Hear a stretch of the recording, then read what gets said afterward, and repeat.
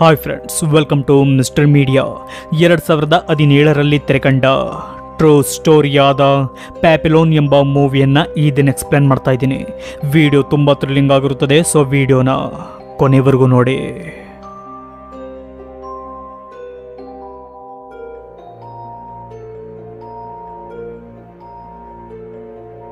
ಮೂವಿಯ ಮೊದಲ ಸೀನ್ ಶುರುವಾಗುವುದು.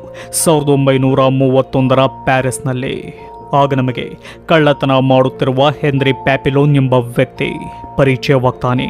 ಸ್ನೇಹಿತರೆ, ಈತನೇ ಈ ಮೂವಿಯ ಮುಖ್ಯ ಪಾತ್ರಧಾರಿ. ಹೀಗೆ ಅಲ್ಲಿ ಡೈಮಂಡ್ಸ್ಗಳನ್ನೆಲ್ಲ ಕದ್ದ ಕಳ್ಳನಾಗಿದ್ದ ಪ್ಯಾಪಿಲೋನ್ ತನ್ನ ಬಾಸ್ ಬಳಿ ಹೋಗ್ತಾನೆ. ಆತ ದೊಡ್ಡ ಗ್ಯಾಂಗ್ಸ್ಟರ್ ಆಗಿರ್ತಾನೆ. ಹೀಗೆ ಅವರ ಬಳಿ ಹೋದಾಗ ಅವನ ಬಾಸ್ ಯಾರಿಗೋ ಸಾಯುವ ರೀತಿ ಅತಿಯಾಗಿ ಹೊಡೆಯುತ್ತಿರುತ್ತಾನೆ. ಅದರ ಬಗ್ಗೆ ಏನು ಮಾತನಾಡದ ಪ್ಯಾಪಿಲೋನ್? ತಾನು ಕದ್ದಿದ್ದ ಡೈಮಂಡ್ಸ್ಗಳನ್ನು ತನ್ನ ಬಾಸ್ಗೆ ಕೊಟ್ಟು ಅಲ್ಲಿಂದ ಹೊರಡುತ್ತಾನೆ.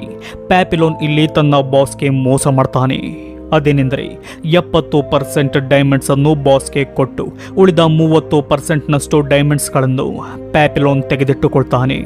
ನೆಕ್ಸ್ಟ್ ಸೀನ್ನಲ್ಲಿ ನಾವು ಪ್ಯಾಪಿಲೋನ್ನ ಗರ್ಲ್ ಫ್ರೆಂಡ್ ಆದ ನೆನೆಟ್ಟಿ ಎಂಬ ಯುವತಿಯನ್ನು ನೋಡ್ತೀವಿ.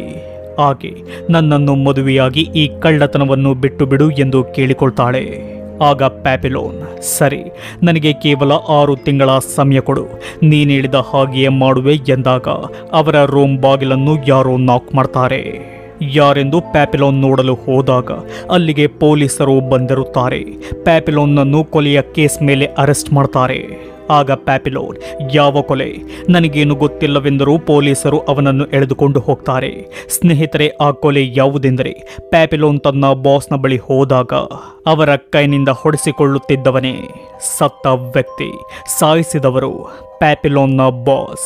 ಈ ಪ್ಯಾಪಿಲೋನ್ ಡೈಮಂಡ್ ವಿಷಯದಲ್ಲಿ ಮೋಸ ಮಾಡಿದ ಎಂದು ಹೇಗೋ ತಿಳಿದುಕೊಂಡ ಬಾಸ್, ಅವನ ಮೇಲೆ ತಾನು ಮಾಡಿದ ಕೊಲೆ ಆಪಾದನೆಯನ್ನು ಹೊರಿಸುತ್ತಾನೆ. ಹೀಗೆ ಪ್ಯಾಪಿಲೋನ್ ಮಾಡಿದ ತಪ್ಪಿಗೆ ಶಿಕ್ಷೆ ಅನುಭವಿಸುವ ಪರಿಸ್ಥಿತಿ ಬರುತ್ತದೆ.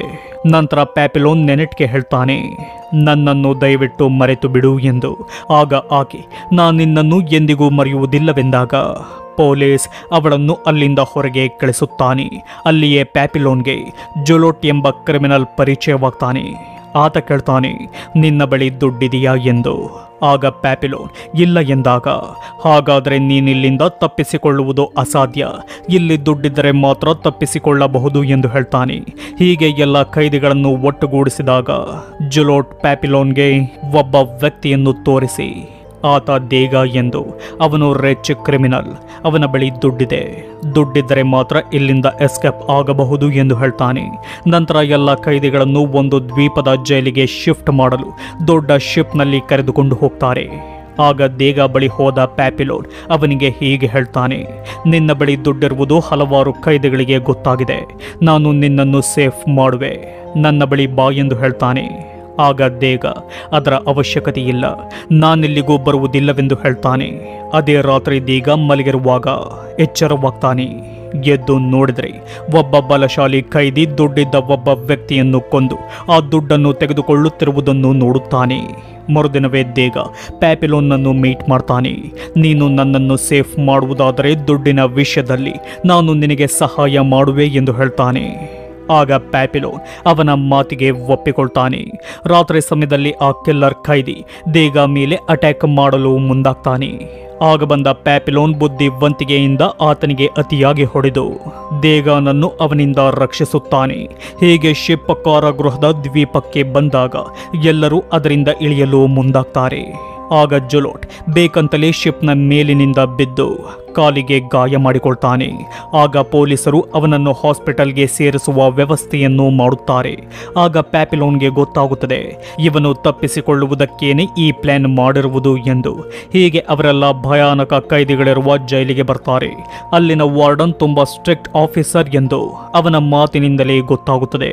ಆಗ ಆತ ಬಂದಿರುವ ಹೊಸ ಕೈದಿಗಳಿಗೆ ಇಲ್ಲಿನ ರೂಲ್ಸ್ ಅನ್ನು ಹೀಗೆ ಹೇಳ್ತಾನೆ, ಯಾರು ಕೂಡ ತಪ್ಪಿಸಿಕೊಳ್ಳುವ ಪ್ರಯತ್ನ ಮಾಡಬೇಡಿ. ಮಾಡಿದರೆ ನಮ್ಮ ಪೊಲೀಸರಿಗೆ ಶೂಟ್ ಮಾಡುವುದೆಂದರೆ ತುಂಬಾ ಇಷ್ಟ. ಅವರು ನಿಮ್ಮನ್ನು ಪ್ರಾಣಿಗಳ ರೀತಿ ಹೊಡೆದಾಕ್ತಾರೆ. ನೀವು ತಪ್ಪಿಸಿಕೊಳ್ಳುವ ಮೊದಲ ಪ್ರಯತ್ನದಲ್ಲಿ ಸಿಕ್ಕಿ ಬಿದ್ದರೆ ನಿಮಗೆ ಎರಡು ವರ್ಷ ಒಂಟಿತನದ ಜೈಲು ಶಿಕ್ಷೆ. ಆ ಜೈಲು ಶಿಕ್ಷೆಯನ್ನು ಅನುಭವಿಸಿ ಎರಡನೇ ಪ್ರಯತ್ನ ಪಟ್ಟರೆ. ಐದು ವರ್ಷದ ಒಂಟಿತನದ ಜೈಲು ಶಿಕ್ಷೆ. ನಂತರ ನಿಮ್ಮನ್ನು ಡೆವೆಲ್ಸ್ ಐಲ್ಯಾಂಡ್ಗೆ ಬಿಟ್ಟು ಬಿಡುತ್ತೇವೆ. ಆ ಐಲ್ಯಾಂಡ್ನಲ್ಲಿ ನೀವು ಸಾಯುತ್ತೀರಿ. ಅಲ್ಲಿಂದ ತಪ್ಪಿಸಿಕೊಳ್ಳುವುದು ಅಸಾಧ್ಯದ ಮಾತು. ತಪ್ಪಿಸಿಕೊಳ್ಳುವಾಗ ನೀವೇನಾದರೂ ನಮ್ಮ ಪೊಲೀಸ್ ಸಿಬ್ಬಂದಿಯನ್ನು ಕೊಂದರೆ ಎಲ್ಲರ ಎದುರಿಗೆ ನಿಮ್ಮ ತಲೆ ಕತ್ತರಿಸುವ ಶಿಕ್ಷೆ ಸಿಗುತ್ತದೆ. ಆ ಶಿಕ್ಷೆ ಸಿಗುವ ರೀತಿ ಮಾಡಿಕೊಳ್ಳಬೇಡಿ ಎಂದು ಹೇಳ್ತಾನೆ. ಇಷ್ಟೆಲ್ಲ ಹೇಳಿದರೂ ಪ್ಯಾಪಿಲೋನ್ ಹಾಗೂ ದೇಗ ಮೊದಲ ದಿನವೇ ಎಸ್ಕೇಪ್ ಆಗುವುದರ ಬಗ್ಗೆ ಯೋಚನೆ ಮಾಡ್ತಾರೆ ಹೀಗೆ ಅವರೆಲ್ಲ ಅಲ್ಲಿ ಕೆಲಸ ಮಾಡುವಾಗ ಅಲ್ಲಿದ್ದ ಹಳೆಯ ಕೈದಿಗಳಿಗೂ, ದೇಗ ಬಳಿ ದುಡ್ಡಿದೆ ಎಂದು ಗೊತ್ತಾಗಿ ಅವನಿಗೆ ದುಡ್ಡನ್ನು ಕೊಡು ಎಂದು ಬೆದರಿಕೆ ಹಾಕ್ತಾರೆ. ಆಗ ಅವನ ರಕ್ಷಣೆಗೆ ಬರುವವನೇ ಪ್ಯಾಪಿಲೋನ್. ಹೀಗೆ ಅವರ ವಿರುದ್ಧ ಅವನು ಜಗಳಕ್ಕೆ ನಿಲ್ಲಬೇಕೆಂದಾಗ ಅಲ್ಲಿಗೆ ಪೊಲೀಸರು ಬಂದು ಅವರನ್ನು ಕರೆದುಕೊಂಡು ಹೋಗ್ತಾರೆ. ಆಗ ಪ್ಯಾಪಿಲೋನ್ಗೆ ಖೈದಿಯಲ್ಲದ ಪೊಲೀಸರ ಪರ ಕೆಲಸ ಮಾಡುವ ಒಬ್ಬ ಬೋಟ್ ಮ್ಯಾನ್ ಪರಿಚಯವಾಗ್ತಾನೆ. ಅವನ ಬಳಿ, ನಾನು ನಿನಗೆ ದುಡ್ಡು ಕೊಡುವೆ, ನಾನು ತಪ್ಪಿಸಿಕೊಳ್ಳಲು ಸಹಾಯ ಮಾಡು ಎಂದಾಗ, ಸರಿ, ಮೂರು ದಿನದವರೆಗೂ ಈ ದ್ವೀಪದಲ್ಲೇ ಕಾಯುವೆ, ಅಷ್ಟರಲ್ಲಿ ನೀನು ಬಂದರೆ ನಾನು ನಿನ್ನನ್ನು ಕರೆದುಕೊಂಡು ಹೋಗುವೆ. ಮೂರು ದಿನವಾದರೆ ನಾನಿಲ್ಲಿಂದ ಹೋಗುವೆ ಎಂದು ಹೇಳ್ತಾನೆ. ಹೀಗೆ ಅವರೆಲ್ಲ ಸ್ನಾನ ಮಾಡಬೇಕಾದ್ರೆ ದೇಗ ಮೇಲೆ ಒಬ್ಬ ಕ್ರಿಮಿನಲ್ ಅಟ್ಯಾಕ್ ಮಾಡ್ತಾನೆ. ಪ್ಯಾಪಿಲೋನ್ನನ್ನು ಕೂಡ ಕೊಲ್ಲಲು ಮುಂದಾಗ್ತಾನೆ. ಆದರೆ ಒಳ್ಳೆ ಫೈಟರ್ ಆಗಿದ್ದ ಪ್ಯಾಪಿಲೋನ್ ಅವನ ಜೊತೆ ಹೊಡೆದಾಡಿ, ಅವನನ್ನು ಸೋಲಿಸುತ್ತಾನೆ. ಈ ಜಗಳದಲ್ಲಿ ಪ್ಯಾಪಿಲೋನ್ಗೆ ಸ್ವಲ್ಪ ಗಾಯಗಳಾಗುತ್ತವೆ. ಆಗ ದೇಗಾಗೆ ಪ್ಯಾಪಿಲೋನಿಯಂತಹ ಸಮಯದಲ್ಲೂ ನನ್ನನ್ನು ಸೇಫ್ ಮಾಡುತ್ತಾನೆ ಎಂಬ ನಂಬಿಕೆ ಬರುತ್ತದೆ. ಮರುದಿನ ತಪ್ಪಿಸಿಕೊಳ್ಳುವುದಕ್ಕೆಂದು ಹಾಸ್ಪಿಟಲ್ಗೆ ಸೇರಿದ್ದ ಜುಲೋಟ್ನನ್ನು ಅಲ್ಲಿಂದ ಎಳೆದುಕೊಂಡು ಬರ್ತಾರೆ. ಆಗ ವಾರ್ಡನ್ ಅವನನ್ನು ತೋರಿಸಿ ಖೈದಿಗಳಿಗೆ ಹೀಗೆ ಹೇಳ್ತಾನೆ, ಈತ ತಪ್ಪಿಸಿಕೊಳ್ಳಲು ಪ್ರಯತ್ನಪಟ್ಟ. ಕೇವಲ ಪ್ರಯತ್ನ ಪಟ್ಟಿದ್ದರೆ ಇವನನ್ನು ಎರಡು ವರ್ಷ ಒಂಟಿತನದ ಜೈಲು ಶಿಕ್ಷೆ ಕೊಡಬಹುದಿತ್ತು. ಆದರೆ ಈತ ಇಬ್ಬರು ಪೊಲೀಸರನ್ನು ಕೊಂದು ಹಾಕಿದ್ದಾನೆ. ಹಾಗಾಗಿ ಇವನ ಶಿಕ್ಷೆ ಛೇದನ ಎಂದು ಅವನನ್ನು ಒಂದು ಕಡೆ ಲಾಕ್ ಮಾಡ್ತಾರೆ. ನಂತರ ಎಲ್ಲರ ಮುಂದೆಯೇ ಅವನ ಕತ್ತನ್ನು ತುಂಬ ಭೀಕರವಾಗಿ ಕತ್ತರಿಸಾಕ್ತಾರೆ. ನಂತರ ಅವನ ಶವವನ್ನು ಕಾಡಿಗೆ ಬಿಸಾಕಿ ಬರುವ ಕೆಲಸವನ್ನು ಪ್ಯಾಪಿಲೋನ್ ಹಾಗೂ ದೇಗಾಗಿ ಒಪ್ಪಿಸುತ್ತಾರೆ. ಆಗ ಅವರಿಬ್ಬರು ಪೊಲೀಸರ ಜೊತೆ ಆ ಶವವನ್ನು ತೆಗೆದುಕೊಂಡು ಹೋಗುವಾಗ ಪ್ಯಾಪಿಲೋನ್ ಪೊಲೀಸ್ ತಲೆಗೆ ಕಲ್ಲಿನಿಂದ ಹೊಡೆದು ಕಾಡಿನ ಮೂಲಕ ತಪ್ಪಿಸಿಕೊಳ್ತಾನೆ. ನಂತರ ನೀರಿನ ಮೂಲಕ ಈಜಿಕೊಂಡು ಬೋಟ್ಮ್ಯಾನ್ ಇದ್ದ ಜಾಗಕ್ಕೆ ರಾತ್ರಿ ಸಮಯದಲ್ಲಿ ತಲುಪುತ್ತಾನೆ. ಹೀಗೆ ಅವನ ಬಳಿ ಹೋದ ಕೂಡಲೇ ಪೊಲೀಸರು ಪ್ಯಾಪೆಲೋನ್ನನ್ನು ಸುತ್ತುವರಿಯುತ್ತಾರೆ. ಆಗ ಆ ಬೋಟ್ಮ್ಯಾನ್ ಜೋರಾಗಿ ನಗಲು ಶುರು ಮಾಡ್ತಾನೆ. ನಿನ್ನಂತಹ ಕೈದಿಗಳನ್ನು ಹಿಡಿದುಕೊಡಲು ನಾನು ಸಹಾಯ ಮಾಡಿದರೆ. ವಾರ್ಡನ್ ನನಗೆ, ನೀನು ಹೇಳಿದ್ದಕ್ಕಿಂತ ಮೂರು ಪಟ್ಟು ಹೆಚ್ಚು ಹಣ ಕೊಡುತ್ತಾರೆ ಎಂದು ಹೇಳ್ತಾನೆ. ಆಗ ಅವರು ಪ್ಯಾಪಿಲೋನ್ನನ್ನು ವಾರ್ಡನ್ನ ಬಳಿ ಕರೆದುಕೊಂಡು ಬರ್ತಾರೆ. ಆಗ ವಾರ್ಡನ್ ಹೇಳ್ತಾನೆ, ನಿನ್ನ ಅದೃಷ್ಟ ಚೆನ್ನಾಗಿತ್ತು. ನೀನು ಕಲ್ಲಿನಿಂದ ಹೊಡೆದ ಪೊಲೀಸ್ ಸಾಯಲಿಲ್ಲ. ಹಾಗಾಗಿ ನಿನಗೆ ನಿಶಬ್ದದ ಎರಡು ವರ್ಷದ ಒಂಟಿತನದ ಶಿಕ್ಷೆಯನ್ನು ಕೊಡಲಾಗುವುದು ಎಂದು ಮತ್ತೊಂದು ದ್ವೀಪಕ್ಕೆ ಅವನನ್ನು ಕಳಿಸಿಕೊಡ್ತಾರೆ. ಅಲ್ಲಿ ಪ್ಯಾಪಿಲೋನ್ಗೆ ಯಾವುದೇ ಕೆಲಸ ಕೊಡದೆ ಸಪರೇಟ್ ಸೆಲ್ನಲ್ಲಿ ಬಂಧಿಸುತ್ತಾರೆ. ಒಂದು ಹೊತ್ತಿನ ಊಟ. ಅದು ಕೂಡ ಲಿಕ್ವಿಡ್ ರೂಪದಲ್ಲಿ. ಹೀಗೆ ಸ್ವಲ್ಪವಿದ್ದ ಆ ಗಂಜಿಯನ್ನು ಕುಡಿದು ಇರಬೇಕಾದ್ರೆ ಪ್ಯಾಪಿಲೋನ್ನಿಂದ ಕಲ್ಲಿನಲ್ಲಿ ಹೊಡೆಸಿಕೊಂಡಿದ್ದ ಪೊಲೀಸ್ ಅಲ್ಲಿಗೆ ಬರ್ತಾನೆ. ಬಂದ ಅವನು ತನ್ನ ಕೋಪವನ್ನೆಲ್ಲ ಅವನಿಗೆ ಅತಿಯಾಗಿ ಹೊಡೆದು ತೀರಿಸಿಕೊಳ್ತಾನೆ. ಹೀಗಿರಬೇಕಾದ್ರೆ ಅಗತ್ಯದ ನೀರನ್ನು ಕೊಡುತ್ತಾರೆ. ತೆಗೆದು ನೋಡಿದರೆ ಅದರಲ್ಲಿರುವ ಅರ್ಧ ತೆಂಗಿನಕಾಯಿಯನ್ನು ನೋಡಿ. ಆಶ್ಚರ್ಯ ಪಡ್ತಾನೆ ಹಾಗೆಯೇ ಅವನಿಗೆ ಒಂದು ನೋಟ್ ಕಾಣುತ್ತದೆ. ಅದರಲ್ಲಿ, ಪ್ರತಿದಿನ ನಿನಗೆ ಇದೇ ರೀತಿ ತೆಂಗಿನಕಾಯಿ ಸಿಗುವುದು ಎಂದು ಬರೆದಿರುತ್ತದೆ. ಆಗ ಅವನಿಗೆ ಗೊತ್ತಾಗುತ್ತದೆ, ಇದು ದೇಗನ ಕೆಲಸ ಎಂದು. ದೇಗ ದುಡ್ಡು ಕೊಟ್ಟು ನನಗೆ ಹೆಚ್ಚು ಊಟ ಕೊಡಿಸುತ್ತಿದ್ದಾನೆ ಎಂದು ತುಂಬ ಸಂತೋಷ ಪಡ್ತಾನೆ ಅದೇ ಸಂತೋಷದಿಂದ ಅದನ್ನು ತಿಂದು, ತನ್ನ ಹಸಿವನ್ನು ನೀಗಿಸಿಕೊಳ್ತಾನೆ. ಇದೇ ರೀತಿ ದಿನ ನಡೆಯುತ್ತಿರಬೇಕಾದ್ರೆ ಒಂದು ದಿನ ಜೈಲರ್ ಪೊಲೀಸ್ಗೆ ಸಿಕ್ಕಿ ಹಾಕಿಕೊಳ್ತಾನೆ. ಯಾರು ನಿನಗೆ ಈ ತೆಂಗಿನಕಾಯಿಯನ್ನು ಇವನಿಗೆ ಕೊಡಲು ಹೇಳಿದ್ದು? ಹೇಳು ಎಂದು ಅವನಿಗೆ ಒಂದೇ ಸಮನೆ ಹೊಡೆದು ಕೊಂದು ಹಾಕಿಬಿಡ್ತಾನೆ. ಆಗ ಅಲ್ಲಿಗೆ ವಾರ್ಡನ್ ಬರ್ತಾನೆ. ಬಂದ ಅವನು ಪ್ಯಾಪಿಲೋನ್ ಬಳಿ, ನಿನಗೆ ಈ ರೀತಿ ಸಹಾಯ ಮಾಡುತ್ತಿರುವುದು ಯಾರು ಎಂದು ಕೇಳ್ತಾನೆ. ಆದರೆ ಪ್ಯಾಪಿಲೋನ್ ಯಾರೆಂದು ಹೇಳುವುದಿಲ್ಲ. ಆಗ ವಾರ್ಡನ್ ಕೊಡುವ ಶಿಕ್ಷೆ ಯಾವುದೆಂದರೆ ಕೊಡುತ್ತಿರುವ ಆ ಲಿಕ್ವಿಡ್ ಫುಡ್ ಅನ್ನು ಸ್ವಲ್ಪವೇ. ಅಂದರೆ ಅರ್ಧದಷ್ಟು ಮಾತ್ರ ಕೊಡಿ ಎಂದು ಹೇಳ್ತಾನೆ. ಹೀಗೆ ದಿನ ಕಳೆದಂತೆ ಪ್ಯಾಪಿಲೋನ್ ತುಂಬ ವೀಕ್ ಆಗ್ತಾನೆ. ಅವನ ಪರಿಸ್ಥಿತಿ ನೋಡಿದ ವಾರ್ಡನ್ ಅಲ್ಲಿಗೆ ಬಂದು ಮಾಂಸವಿರುವ ಸೂಪ್ ಕೊಟ್ಟು ತಗೋ, ಇದನ್ನು ಕುಡಿದು ಸಾಯುವುದರಿಂದ ತಪ್ಪಿಸಿಕೋ. ಆದರೆ ಒಂದು ಕಂಡೀಷನ್, ನಿನಗೆ ಹೆಲ್ಪ್ ಮಾಡುತ್ತಿದ್ದದ್ದು ಯಾರು ಹೇಳು ಎಂದು ಹೇಳ್ತಾನೆ. ಆದರೆ ಸಾಯುವ ಕ್ಷಣದಲ್ಲೂ ಪ್ಯಾಪಿಲೋ ದೇಗಾನ ಹೆಸರನ್ನು ಅವನಿಗೆ ಹೇಳುವುದಿಲ್ಲ.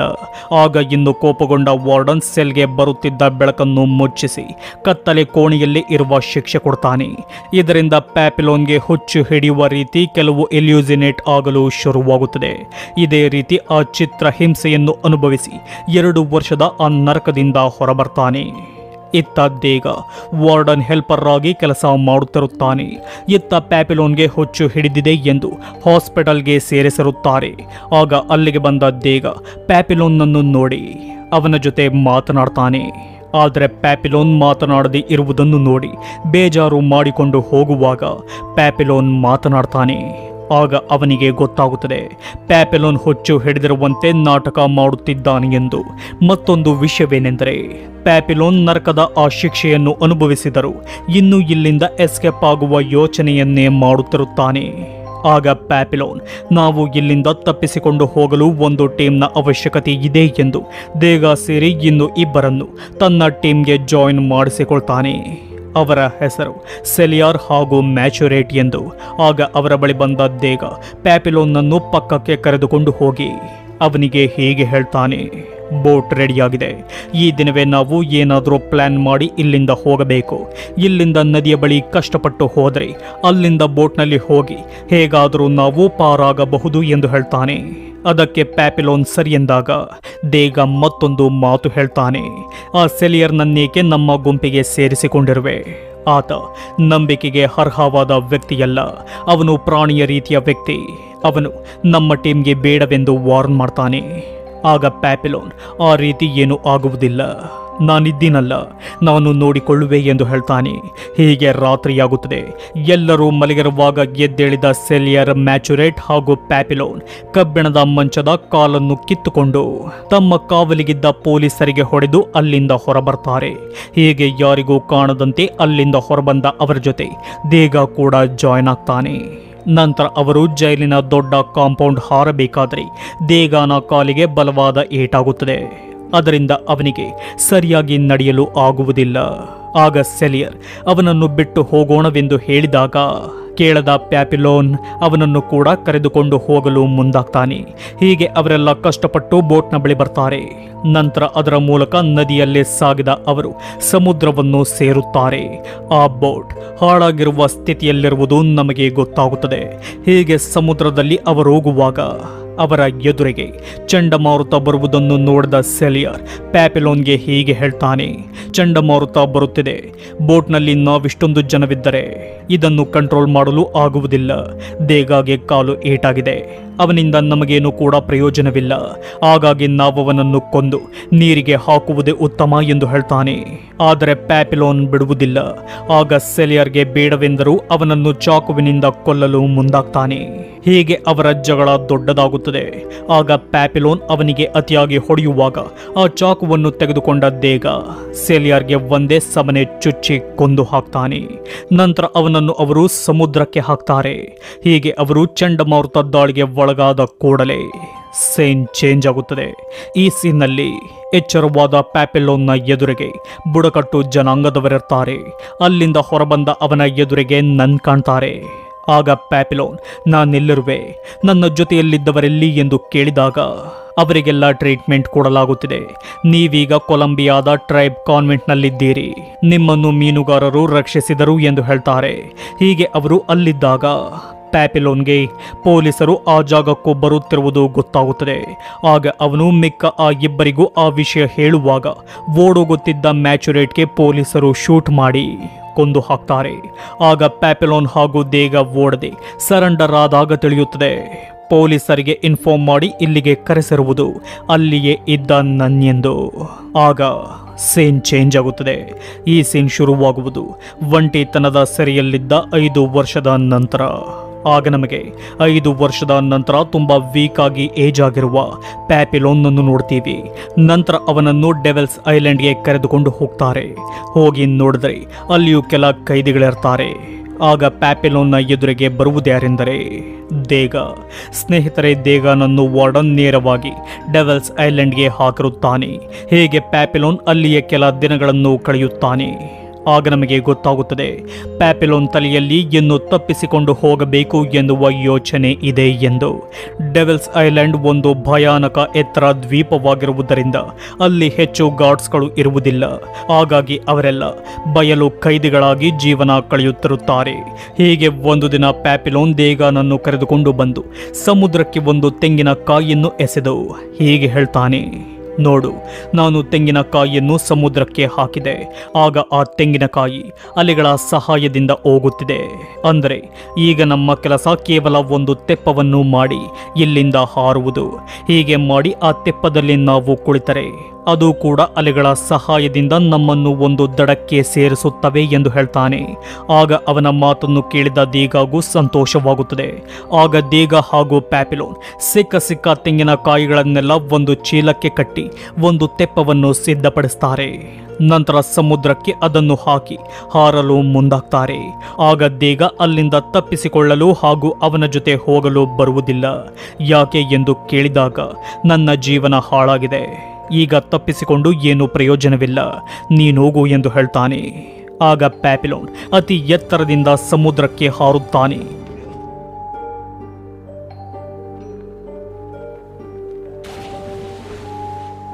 ಪ್ಯಾಪಿಲೋನ್ ಅತಿ ಎತ್ತರದಿಂದ ಸಮುದ್ರಕ್ಕೆ ಹಾರಿಯು. ಇನ್ನು ಬದುಕಿದ್ದಾನೆ ಎಂದು ತಿಳಿದ ದೇಗಾಗೆ ತುಂಬಾ ಸಂತೋಷವಾಗುತ್ತದೆ. ಹೇಗೆ ಪ್ಯಾಪಿಲೋನ್ ಫ್ರೀ ಮ್ಯಾನ್ ಆಗಿ ಜೈಲು ವಾಸದಿಂದ ಮುಕ್ತಿ ಹೊಂದುತ್ತಾನೆ. ಆಗ ಸೇನ್ ಚೇಂಜ್ ಆಗುತ್ತದೆ. ಈ ಸೇನ್ ಶುರುವಾಗುವುದು ಸಾವಿರದ ಒಂಬೈನೂರ ಅರವತ್ತೊಂಬತ್ತರಲ್ಲಿ. ಆಗ ನಮಗೆ ವಯಸ್ಸಾಗಿರುವ ಪ್ಯಾಪಿಲೋನ್ ಕಾಣ್ತಾನೆ. ಸ್ನೇಹಿತರೆ, ಈಗಲೂ ಪ್ಯಾಪಿಲೋನ್ ವಾಂಟೆಡ್ ಪರ್ಸನ್ ಆಗಿರ್ತಾನೆ. ಆದರೆ ಪೊಲೀಸರಿಗೆ ಸಿಗದ ಪ್ಯಾಪಿಲೋನ್ ವೆನೆಜುವೇಲಾದಲ್ಲಿ ವಾಸವಿರ್ತಾನೆ. ಆಗ ಅವನು ತನ್ನ ಜೈಲು ಅನುಭವದ ಅಷ್ಟು ಕಥೆಯನ್ನು ಒಂದು ಡಾಕ್ಯುಮೆಂಟರಿ ಮಾಡಿ ಅದನ್ನು ಬುಕ್ ಆಗಿ ಪಬ್ಲಿಷ್ ಮಾಡಲು ಬಂದಿರುತ್ತಾನೆ. ಆಗ ನಮಗೆ ನಿಜವಾದ ಹೆನ್ರಿ ಪ್ಯಾಪಿಲೋನ್ನನ್ನು ತೋರಿಸಲಾಗುತ್ತದೆ. ಆಗ ನಮಗೆ ಗೊತ್ತಾಗುವುದೇನೆಂದರೆ, ಈ ಪ್ಯಾಪಿಲೋನ್ನ ರಿಯಲ್ ಸ್ಟೋರಿ ಬುಕ್ ಒಟ್ಟು ಹದಿಮೂರು ಮಿಲಿಯನ್ ಕಾಪಿಗಳು ಯಶಸ್ವಿಯಾಗಿ ಸೇಲ್ ಆಗಿದ್ದು, ಬೆಸ್ಟ್ ಬುಕ್ಗಳ ಪಟ್ಟಿಯಲ್ಲಿ ಒಂದಾಗಿದೆ. ಹಾಗೂ ಮೂವತ್ತು ಭಾಷೆಗಳಲ್ಲಿ ಪ್ಯಾಪಿಲೋನ್ನ ಜೀವನ ಕಥೆಯ ಬುಕ್ಗಳು ಪ್ರಿಂಟ್ ಆಗಿವೆ. ಆ ಮೂವತ್ತು ಭಾಷೆಯಲ್ಲಿ ನಮ್ಮ ಕನ್ನಡದ ಭಾಷೆಯ ಬುಕ್ಗಳು ಕೂಡ ಇವೆ ಎಂದು ಹೇಳಲು ತುಂಬ ಖುಷಿಯಾಗುತ್ತದೆ ಅಲ್ಲಿಗೆ. ಪ್ಯಾಪಿಲೋನ್ ಮೂವಿ ಎಂಡ್ ಆಗುತ್ತದೆ.